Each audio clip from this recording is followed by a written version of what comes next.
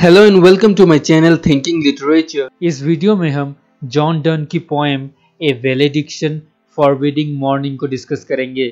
So let's jump into it a valediction forbidding mourning John Donne के द्वारा लिखा गया एक फ़ेमस पोएम है, जो कि उन्होंने उनके वाइफ के साथ अलग होने के समय लिखा था।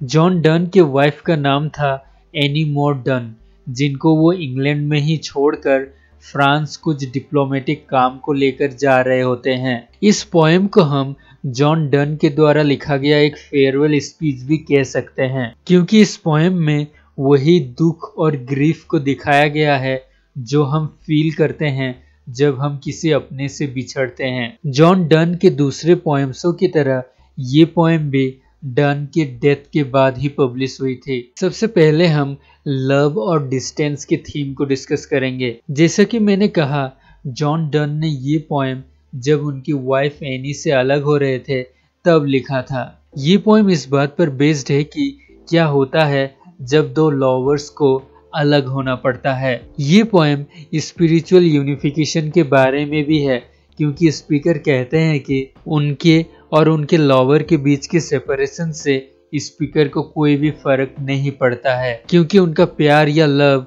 फ़िज़िकल डिस्टेंस को वैल्यू नहीं करता, क्योंकि उनका लव इससे परे है और स्पिरिचुअल है। पोएम के स्पीकर अपने लॉवर से ये एश्योर करते हैं कि उनके सोल्स या आत्मा के साथ साथ उनका माइंड भी यूनिफाइड है या एक बंधन में बंधी है। सो so, अगर वो फिजिकली अलग हो भी जाए तब भी उनकी जो माइंड और सोल की जो बॉन्ड है वो कभी भी अलग नहीं होगी। इसके बजाय उनके सोल्स या आत्माएँ उनके फ़िज़िकल दूरी को कवर करने के लिए और फैल जाएगी। जिस तरह एक सॉफ्ट मेटल को एक बड़े से एरिया में फैलाने के लिए पीटा जाता है उसी तरह। पोएम में जो स्पीकर है वो अपने और अपने लॉवर की सोल की बॉन्ड को दिखाने के लिए एक कॉम्पस का एग्ज़ाम्पल देते हैं और कहते हैं कि जिस तरह कॉम्पस की दो लेग्स अलग अलग होते हुए भी एक साथ जुड़े हैं, उसी तरह उनके सोल्स भी अलग अलग होते हुए भी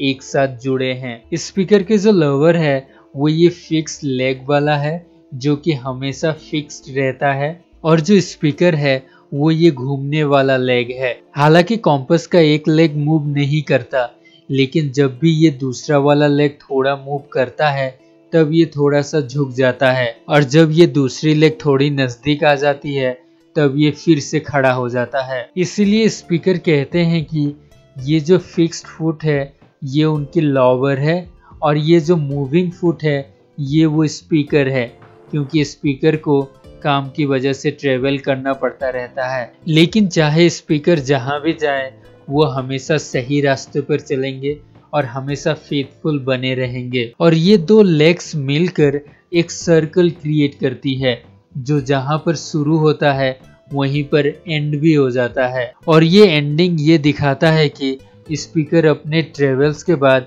या अपने सभी कामों के बाद फिर से अपने लॉवर के पास लौट के आएँगे। सो so, स्पीकर के अनुसार जो ट्रू लव है वो न केवल सेपरेशन को झेलता है बल्कि दो लवर्स को वापस एक दूसरे के पास भी लाता है। अब हम फ़िज़िकल लव और स्पिरिचुअल लव के थीम को डिस्कस करेंगे। पोएम की स्पीकर उस तरह के लव की निंदा करते हैं, जो केवल फिजिकलिटी पर बेस्ड होती है। इसके बजाय स्पीकर स्पिरिचुअल लव की प्रशंसा करते हैं। पोएम के स्पीकर अपनी और अपने लॉवर के प्यार को फ़िज़िकल लव से अलग बताते हुए कहते हैं कि उनका माइंड और सोल इस तरह कनेक्टेड है कि उन्हें फ़िज़िकल प्रेजेंस की कोई परवाह नहीं है। उनका प्यार इतना जेन्युइन और रिफाइन है कि ये उनके अंडरस्टैंडिंग से भी परे है। उन दोनों के बीच एक ऐसी लिंक है जो कि साधारण रोमांटिक और सेक्सुअल लव से बहुत बियॉन्ड है। इसी तरह जॉन डन फ़िज़िकल लव को स्पिरिचुअल लव से सेपरेट करते हैं। So come to the end of this video अगर आपको वीडियो अच्छा लगा तो लाइक कीजिए। अगर अच्छा नहीं लगा तो डिसलाइक कीजिए। और अगर नए हैं तो सब्सक्राइब कीजिए।